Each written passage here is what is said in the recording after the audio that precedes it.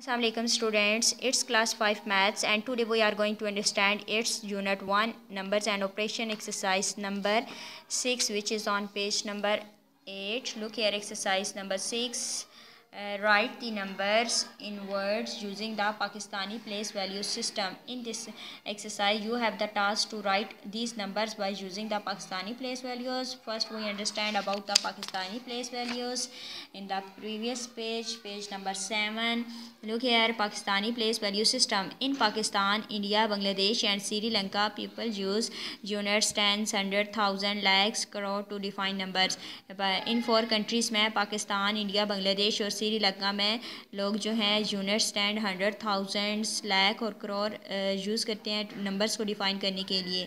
The smallest eight digit number इसका ten million in international place value में, जो eight digit number है।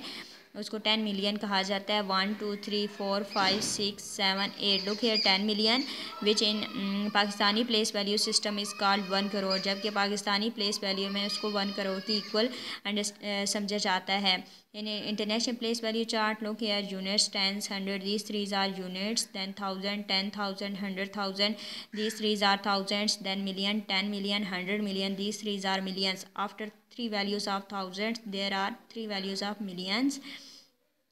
In Pakistani place value chart look at the units tens hundred. These are three values are of units same like international place values. Then thousand ten thousand. Uh, there are uh, three uh, values of thousands in international place values but in Pakistani place value there are two digits of two values of thousand two places of thousand thousand and ten thousand. Then there will be comma uh, then lakh 10 lakh two values are of lakh then crore. Uh, in 100000 international place value in pakistan there will be equal to 1 lakh and 1 million is equal to 10 lakh 10 million is equal to 1 crore. Okay?